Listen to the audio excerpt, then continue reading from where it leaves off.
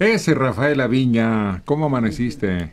Muy bien, Héctor, buenos días. Y ahorita que estaban hablando de Blanco Moeno, me acordé que él, hay una película, no sé si haya más, pero al menos recuerdo una que se llama Y Dios la llamó Tierra, que estaba inspirada en un libro de él. No, no la conozco. Es una película con Ignacio López Tarso que hace el papel de un, este, eh, es un hombre que mandan de la capital, eh, eh, un funcionario, un agrónomo, que llega este, enviado por, por Lázaro Cárdenas a... Ah, ese, esa película, esa historia fue teatro primero. Ah, pues. Pero se llama El extensionista, creo. Es que hay es que hay, hay dos películas, El extensionista y Dios la llamó Tierra, pero no. Ah, son diferentes. Son diferentes, aunque no sé si El extensionista esté también inspirada en la misma obra de, de Blanco Moeno.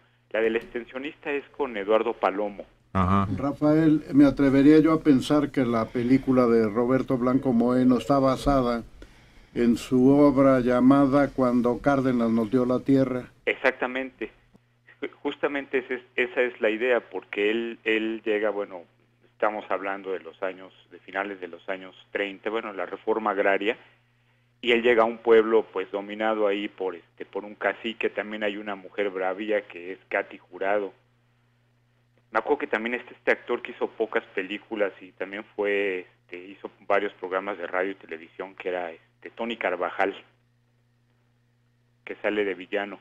Pero sí tiene que ver con todo esto. Y creo que hay otra película por ahí de Blanco Moeno, pero esa sí no la recuerdo.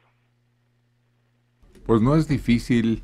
Abordaba temas candentes y profundizando en ellos. Es uno de los analistas eh, que, en sus novelas y en sus eh, reportajes desnudaba muchas cosas que no entendía uno qué pasaban. Y además, bueno, yo siempre lo recuerdo muy polémico y sí, como ustedes decían, con un léxico muy fuerte. Como decía la señora por teléfono, pues tenía que ser de Veracruz. Un día se agarraron a fregadazos él y José Luis Cuevas, ¿no? Creo que sí, recuerdo ese incidente. José Luis Cuevas no se peleó con uh, René Avilés Favila, que René le puso sus coscorrones y lo hizo correr. ¿También? Pues bueno, también.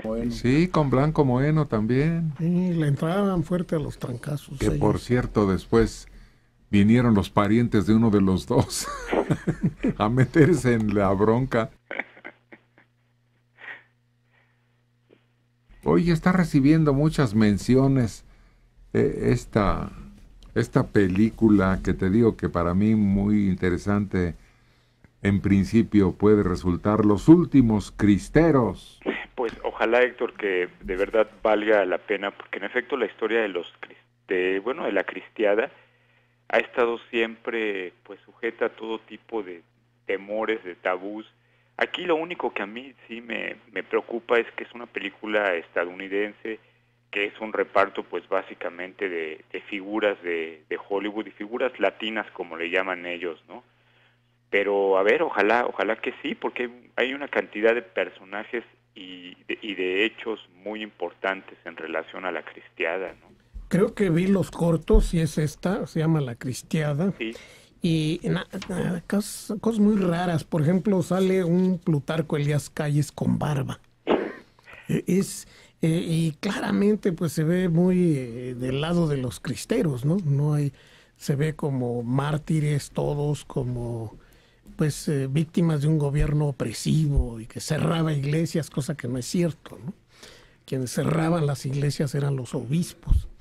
Pero en fin, muchas cosas así y tal parece que es una típica puntada de Hollywood en un país tropical con palmeras y todo eso es, justamente a mí lo que lo que me preocupa de la película y en el tráiler también lo que se ve es muchas secuencias de acción, pero como tipo western, me hizo recordar, digo, Butch Cassidy y Sundance Kid, porque además Butch Cassidy la filmaron en Tepoztlán, entonces sí, era muy este, este estilo, ¿no? Pero a ver, ojalá, la película se estrena aparentemente el día 20. Pues a ver qué resulta, ojalá que sea interesante, esté bien hecha, documentada y que no sea partidista, a lo mejor te está detrás una lana, muy, pues una influencia mm. que quiere hacernos revertir los hechos, porque incluso los mártires estos a los que santificaron pues como que no tuvo eco, ¿verdad? No, en realidad pues no. Y hay otros personajes. Este, ayer, totalmente por azar, estaba viendo que se cumplían años de la muerte de uno de los líderes este, cristeros, que fue Anacleto Morales González.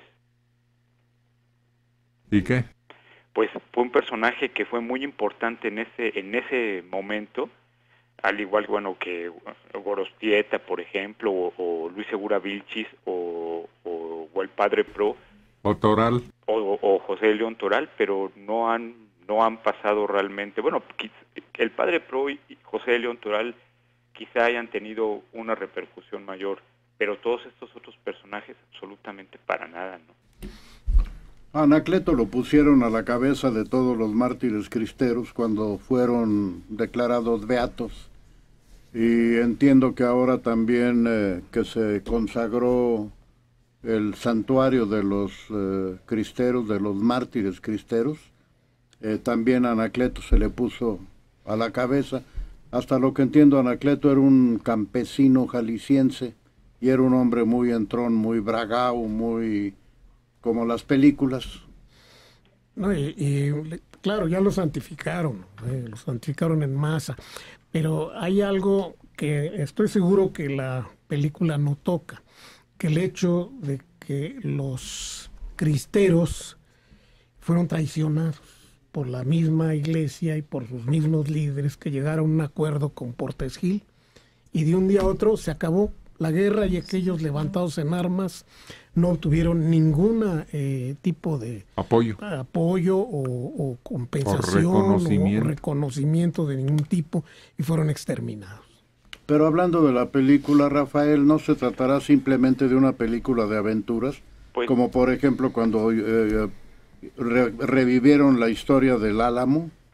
Pues exactamente es lo que yo yo creo que va a, suceder con esta película. Habrá que esperar, pero bueno, el reparto no augura gran cosa, el tráiler tampoco, pero sin embargo, este, como dice eh, Héctor, ¿no? O bueno, habrá, habrá que, que esperar ver la película ya ya en el estreno y sobre todo estos reconocimientos que está teniendo, bueno, pues habrá habrá que darle la oportunidad, ¿no? Habrá que esperar, sí, y nos dará mucho gusto que sea una buena película y que esté apegada a los hechos históricos, que, todavía no se acaba de discutir, ¿eh? porque ese asunto también le echaron tierra, como dice Mario, y se quedaron algunos colgados de la brocha, y acá en Petit Comité llegaron a un acuerdo. Y de hecho no es casual que sean mínimas las películas que se han hecho sobre el tema de los cristeros. Yo creo que no hay más de 10 películas sobre los cristeros y 10 es mucho. De un tema que fue, bueno, yo creo que es bastante importante, ¿no?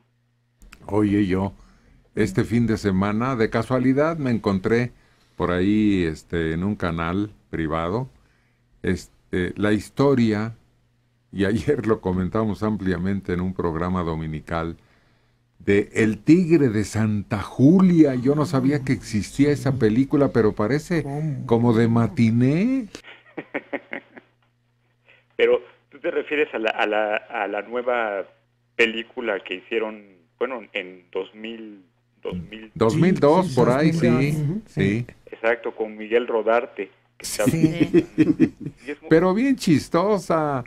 a mí me parece bastante divertida la, la, la, película porque, bueno, son muchos excesos, pero curiosos. Y hay una película anterior del Tigre de Santa Julia. ¿Otra? Sí, sí, sí. Yo, yo recuerdo una película, bueno, con uno de estos eh, actores que eran cantantes, se llama Juan Gallardo.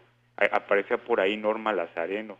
Y esa película es como de los años 70 y esa de alguna manera intenta estar más apegada a, a, la, a la historia del tigre de Santa Julia. Sin embargo, esta nueva, la que tú dices, pues es muy divertida, muy espectacular.